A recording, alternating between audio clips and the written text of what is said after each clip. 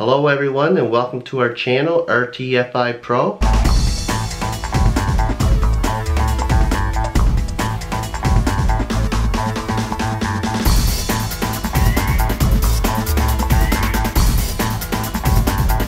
Today's topic that we will be discussing is the welding discontinuity, excessive penetration.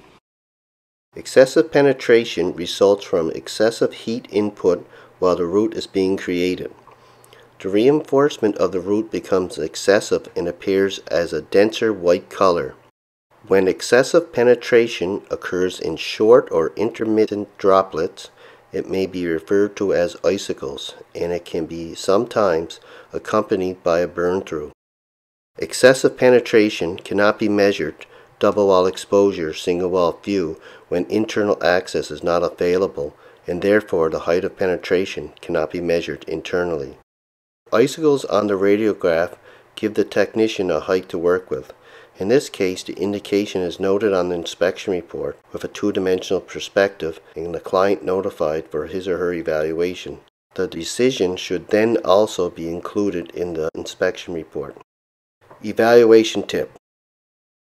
Radiography is generally not used to evaluate excessive penetration as a radiograph is a two-dimensional image.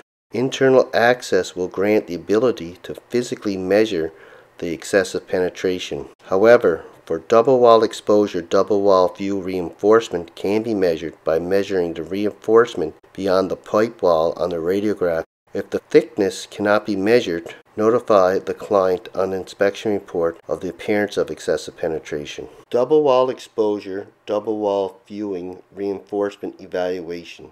As shown in the radiograph, at the right of the A location, reinforcement is shown protruding beyond the base metal.